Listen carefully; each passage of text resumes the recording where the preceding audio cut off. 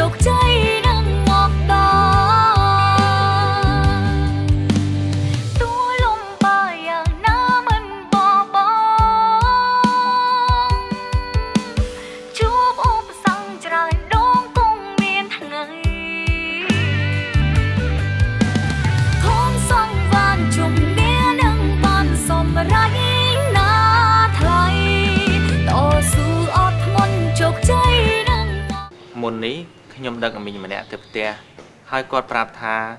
គឺគាត់កំងនំដើម្បីទៅធ្វើពិធីនៅឯសាលារៀនហើយលោកស្រីនោះគេជាអ្នកមានមែនទេក្មួយ បាទគឺគាត់នៅភូមិគ្រឹះលោកថានុនឲ្យបងសុំទោស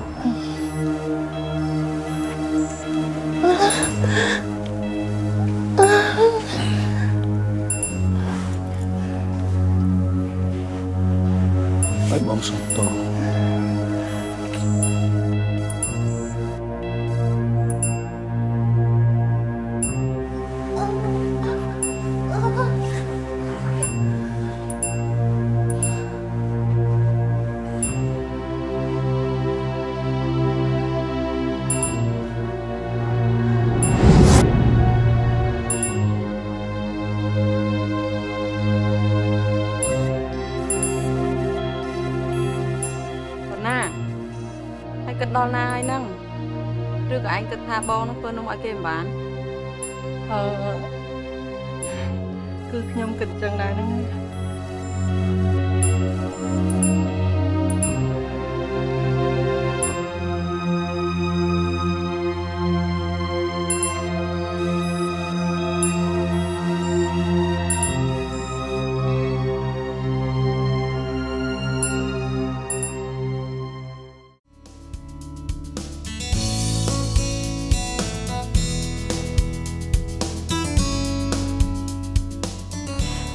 សូមជើញបាទអរគុណជើញអង្គុយបាននេះគឺជាថវិកាផ្ទាល់ខ្លួនរបស់ខ្ញុំលោកនាយកដែលខ្ញុំបានជួយឧបត្ថម្ភទៅខាងសាលាដោយសពដងហើយមានសប្បុរសជនដទៃទៀតគាត់បានជួយឧបត្ថម្ភបន្ថែមទៀតទៅលើការខ្វះខាតរបស់សាលារៀនហើយថវិកានេះលោកនាយកអាចដកទៅចាត់ចែងក្នុងកម្មវិធីអឺរង្វាន់លើកទឹកចិត្តដល់សិស្សមធ្យមនិងសិស្សពូកែ ហើយខ្ញុំបានរៀបចំរបបផ្សេងផ្សេងទៀតលោកនាយកមិនចាំបាច់បារម្ភទេបាទអរគុណលោកដែលតែងតែឧបត្ថម្ភដល់ខាងសាលាយើងណាបាទអ្វីអ្វីដែលខ្ញុំធ្លាប់រីកចម្រើននៅកន្លែងណាខ្ញុំត្រូវតែឧបត្ថម្ភនៅកន្លែងនោះជាការចាំបាច់តាមសមត្ថភាពរបស់ខ្ញុំហើយខ្ញុំក៏មិនចង់បានស្គុណអ្វីដែលលោកនាយកចាំដល់ថ្ងៃនោះខ្ញុំឡើងចែកអំណោយដល់ក្មេងៗជាការស្រេចឲ្យលោកនាយកបាទអរគុណម្ដងទៀតបាទបាទអញ្ចឹងខ្ញុំសូមលាលោកនាយកសិនលោកគ្រូបាទលោកគ្រូតាយើង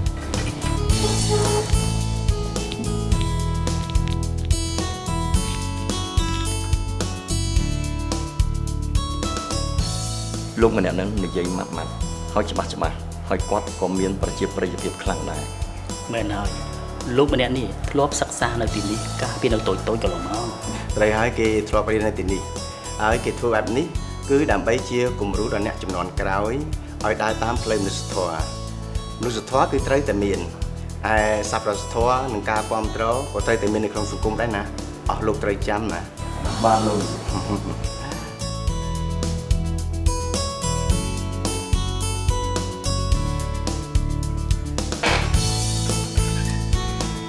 លោកនឹងផ្ដល់ដំណឹងម្ដងទៀតសម្រាប់បុគ្គលិកដែលដាក់ពាក្យការពីសប្តាហ៍មុនហើយឬនៅបាទរួចហើយ គឺថ្ងៃច័ន្ទថ្ងៃស្អែកមួយនេះគេនឹងសាក់លបងការងារអញ្ចឹងលោកឲ្យគេកាន់ការងារដែលបុគ្គលិកឈប់ការពីសប្តាហ៍មុនទៅហើយបើខុសត្រូវយ៉ាងណាលោកជួយបង្ហាត់បង្ហាញគេផងបាទនាងធានលោកត្រឡប់ទៅធ្វើការរបស់លោកវិញចាស់បើសិនជាមាននរណាចង់ជួបខ្ញុំ ប្រាប់គេថាខ្ញុំមិនទំនេរទេមួយរយៈនេះអារម្មណ៍ខ្ញុំមិនសូវល្អសោះ បាទ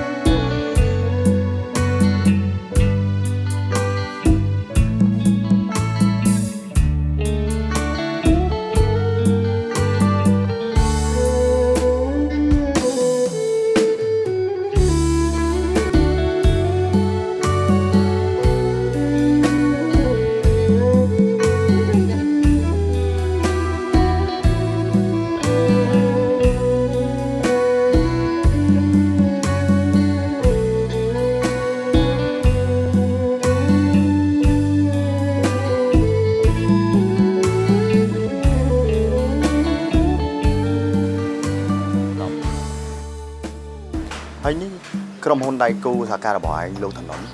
គេមិនចូលរួមសាលាជាមួយឯងទេគាត់ចូលរួមតាប៉ុន្តែដាក់ក្នុងខ្ទង់សាលាសាងសង់បន្ថែមលើអគារមួយចំនួនទៀតហើយចូលអ្នកនាងនីតាថ្ងៃនោះគាត់បានទៅចូលរួមកម្មវិធីនឹងអត់គេចូលរួមប្រហែលជាគ្នាទៅយកនាងឲ្យមកទៅបាទថ្ងៃហ្នឹងឯងត្រូវទៅតាមអ្នកនាងនីតាស្អិតប្រយ័ត្នតែមានអ្នកមុខអ្នកមាត់គេចូលច្រើនគេដណ្ដើមនាងយកទៅបាត់ទៅណា វាមិនអាចទៅរួចនោះទេពោលថានេតា គឺនាងមានចរិតហៃសូខ្លាំងណាស់អ្នកល្មមល្មមគឺមិនអាចទេអូគ្នាភ្លេច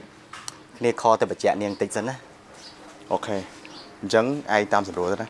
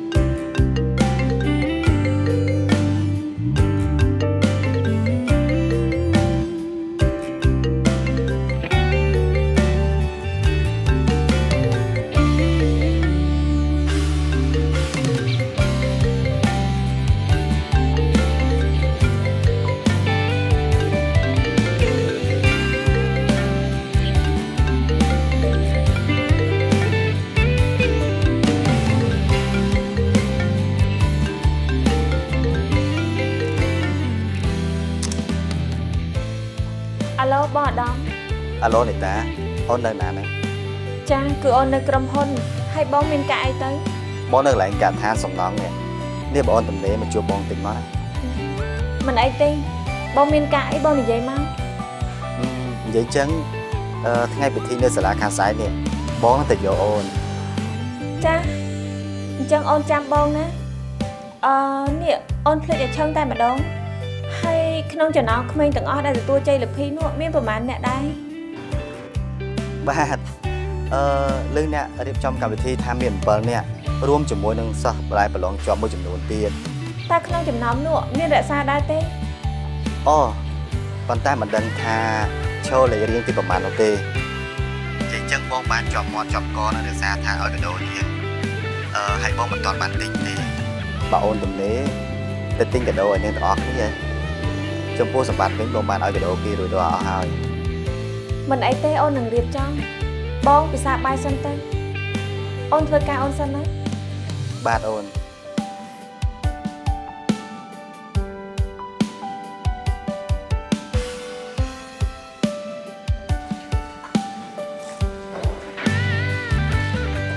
ហើយយ៉ាងម៉េចណានេះនីតាគេព្រមជិះឡានជាមួយឯងដែរអត់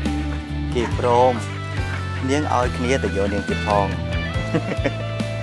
ស្រីស្រីតែប៉ុណ្្នឹងឯងឲ្យតែលូងលោមបន្តិចទៅនឹងលៀបកន្ទុយដូចជាសត្វពស់អញ្ចឹងតែនេតាម្នាក់នេះហ่ะពិបាកស្មានណាស់មិនដូចជាការគិតរបស់ឯងនោះទេ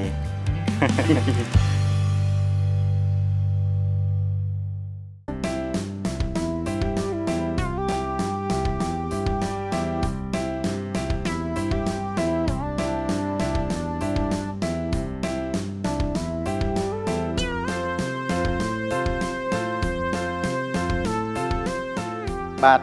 តាំងនាមខ្ញុំបាទជានាយកសាលាខ្ញុំបាទសូមថ្លែងអំណរគុណដល់អស់លោកលោកស្រីអ្នកនាងកញ្ញាដែលបានចូលរួមនៅក្នុងថ្ងៃនេះសាលាយើងខ្ញុំតែងតែប្រារព្ធពិធីនេះជារៀងរាល់ឆ្នាំដើម្បីសម្ដែងនៃការគួរសមនិងដឹងគុណចំពោះអ្នកឧបត្ថម្ភកម្មវិធីក៏ដូចជាសប្បុរសជនទាំងអស់ដែលបានផ្ដល់ថវិកាជួយដល់សាលាយើងខ្ញុំហើយអឺម្យ៉ាងទៀតនោះគឺជាកម្លាំងចិត្តទៅដល់សិស្សានុសិស្សទាំងអស់ដែលជាសិស្សឆ្នើមនិងជាសិស្សពូកែ ដែលជាប់ចំណាត់ថ្នាក់នៅសញ្ញាបត្រជុំទឹកសិក្សាទុតិយភូមិនៅក្នុងឆ្នាំនេះផងដែរបាទដើម្បីជាស្ពាននៃការសិក្សាសម្រាប់សាលានិងសិស្សានុសិស្សទាំងអស់ផលសម្រាប់ដែលបានទទួលសម្រាប់ការសិក្សាឆ្នាំថ្មីនេះគឺសាលាយើងខ្ញុំបានការកោតសរសើរពីក្រសួងអប់រំនិងយុវជននិងកីឡាហើយក៏ទទួលបានការឆ្លើយតបទៅវិញដោយសាលាយើងបានខិតខំបណ្ដុះបណ្ដាលសិស្សទាំងអស់ឲ្យបានជាប់100%ជាស្ថាពរបាទ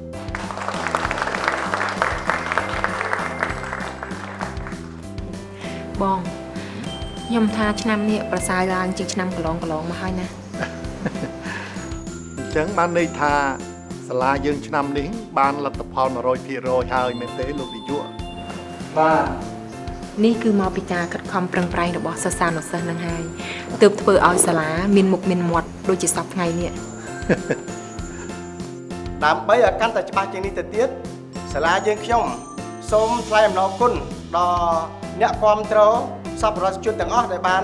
អឺឧបត្ថម្ភថវិកាមកដល់សាលាយើងខ្ញុំហើយក៏សូមអញ្ជើញតំណាងដែលមានលោករតនាឧត្តមមកធ្វើចំណាប់អារម្មណ៍និងអឺផ្ដល់កម្លាំងចិត្តដល់សិស្សានុសិស្សទាំងអស់សូមអញ្ជើញបាទ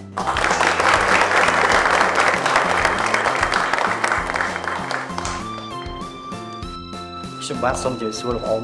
អ្នកមីងលោកគ្រូអ្នកគ្រូលោកនាយក បងប្អូន ក្រោយពីបានការណែនាំពីលោកគ្រូ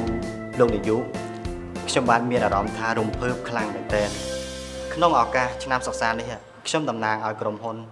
ជំនួសមកឲ្យសប្បុរសជនក៏បានយកថវិកាដើម្បីជួយជ្រោមជ្រែងនៅខាងសាលាលោកនាយកគឺថវិកានោះគឺមានចំនួន60លានរៀលគឺ3ក្រុមហ៊ុនរួមជាមួយនឹងថវិកាផ្ទាល់ខ្លួនរបស់ខ្ញុំបាទគឺចំនួន10លានរៀលផងដែរបាទ សម្រាប់ឧបត្ថម្ភទៅសិស្សឆ្នើមនិងសិស្សពូកែនោះនិងអឺសម្ភារៈសិក្សាមួយចំនួន សម្រាប់សិស្សឆ្នើមគឺទទួលបានថវិកាចំនួន20ម៉ឺនរៀលរួមជាមួយនឹងសម្ភារៈសិក្សាមួយចំនួនទៀតចំពោះសិស្សពូកែគឺទទួលបានថវិកាជាការលើកទឹកចិត្តក្នុងម្នាក់ម្នាក់ទទួលបាន10ម៉ឺនរៀលរួមជាមួយនឹងសម្ភារៈសិក្សាមួយចំនួនផងដែរតួលំបើយ៉ាងណា